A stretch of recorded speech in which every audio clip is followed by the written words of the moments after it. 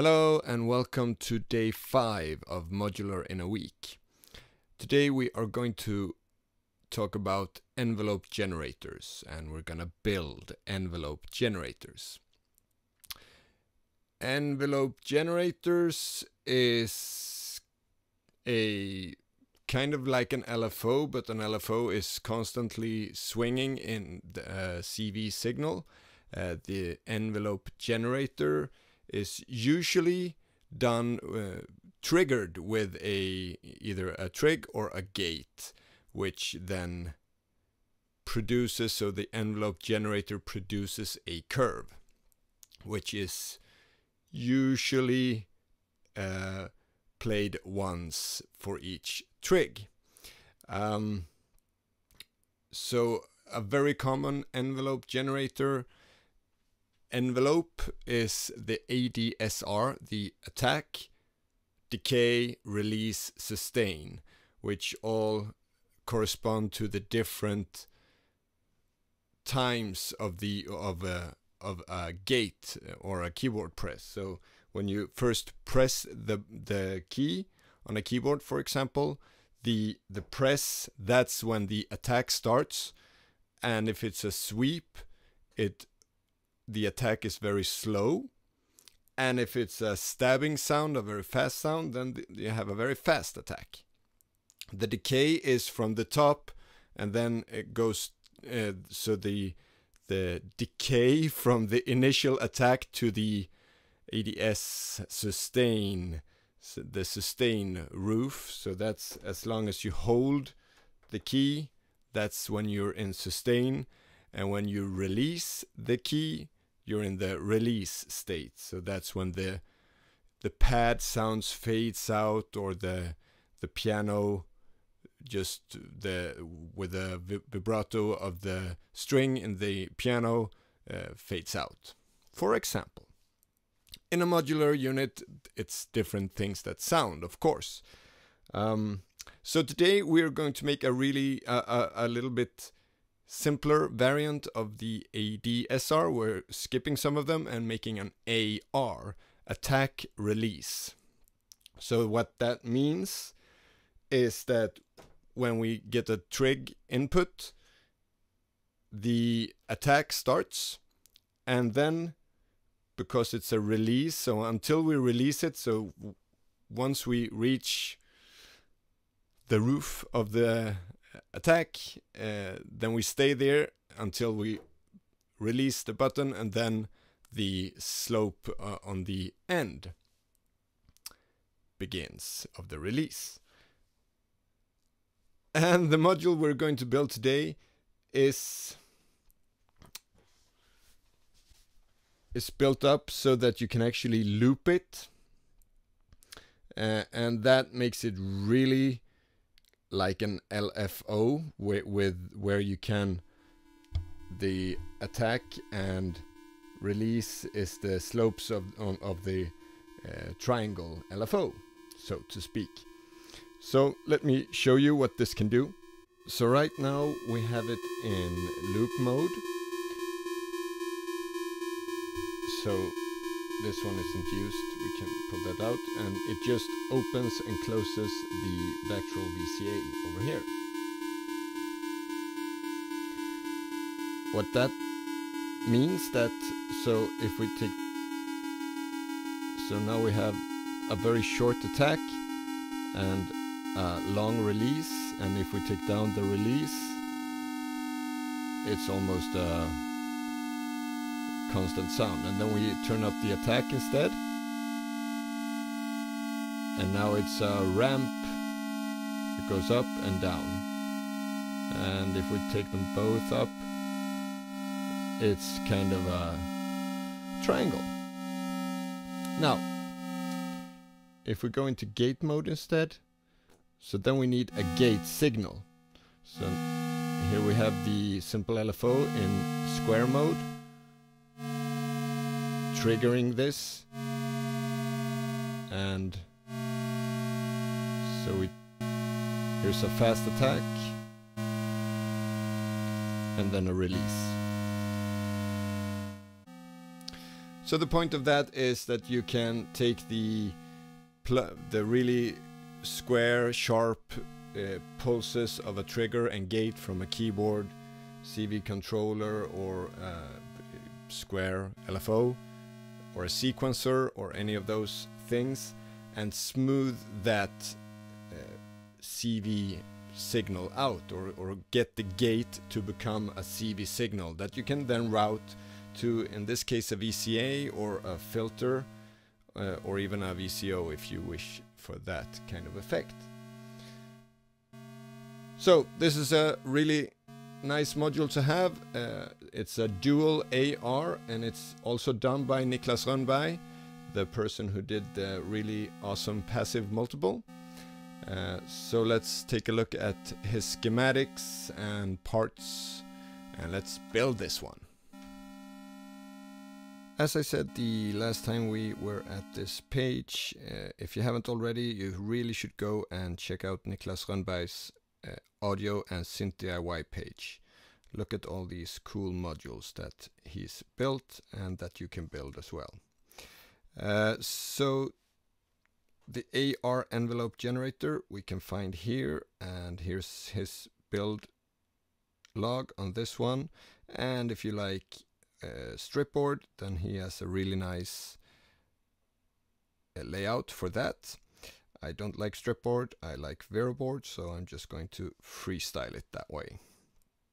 Uh, so here's the AR and this is one part of uh, so I made a dual so did he uh, and so this one uses half a TL074 here and half one here uh, TL072 and I think we only use a third of the 74HC14. So here's the repeat switch and also I forgot to mention before that we have a inverted CV out. So CV out and inverted CV out, which is an extra bonus because you can have make really cool effects when when you have one CV signal going positive when the other one goes negative. Also, I should mention that this one uh, needs uh, 5 volts. Uh, so you need to add a 5 volt regulator and, and uh, I, I, do that as well. And that's because the 74HC14, so it's a Schmitt trigger uh, chip that he's using, can't handle 12 volts. Uh, so, and also 5 volts to this LED and this chip which can only handle up to 7 volts I believe. So uh, adding a 5 volt regulator will be needed as well. And on the component side I'd say this is an intermediate to hard build uh, partly because we need to add another power source and it's quite a lot of components 39 to be exact uh, and this is for two so because it's a dual AR so this is 39 components and you get two envelope generators. For a total of $16 with these really high prices that I've counted with just to be on the safe side.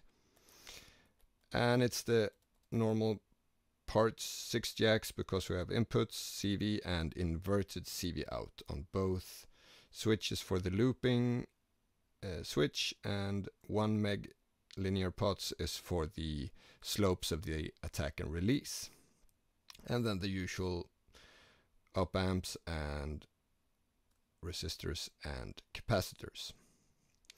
So let's build this one.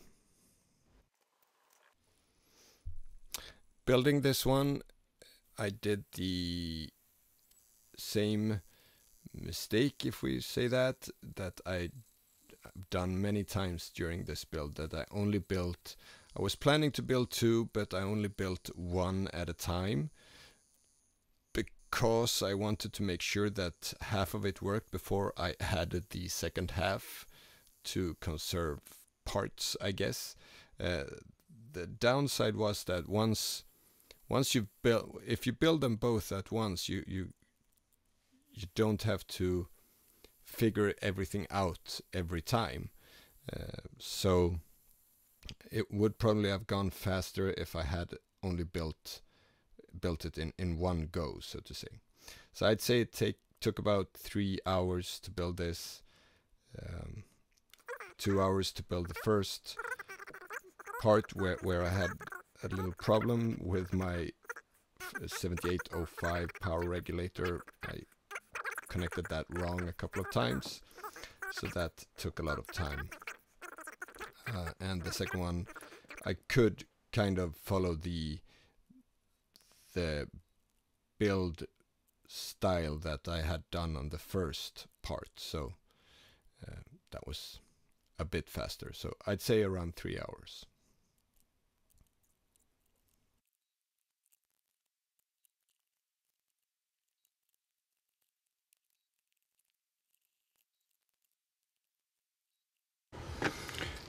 So I've tried to turn these and doesn't really do anything. So, but when I turned this on just a wee wee bit, I actually got it to pulse. So that's nice. So now we should have a. Let's just steal the pin out from the LFO. Put on this one.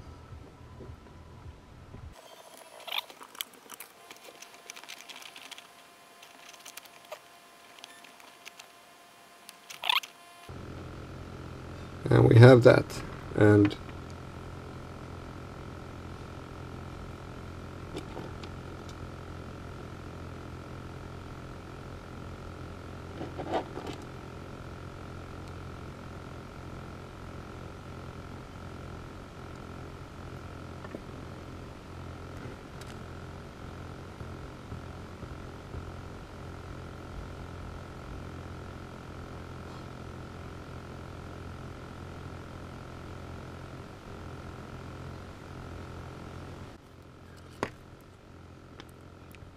perfect. This one worked almost immediately. I only had some few problems with my 7805. Other than that, it works immediately. Not often that happens. And this is only half of it, of course. I need to do the other half as well.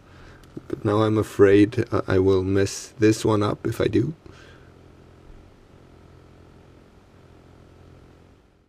And the panel was quite difficult to get all this in as small space as possible. So this one I had to expand to 9 HP. I couldn't keep my 8 HP uh, as I have in most double modules. And that's because the uh, LED and the loop gate uh, switch, I couldn't put them on um, on a row, everything, so I had to put them side by side. And I hope that was, I feel that was a good choice and I like how that looks on the panel. And then the gate in and CV outs. So quite a small module for everything we crammed into this.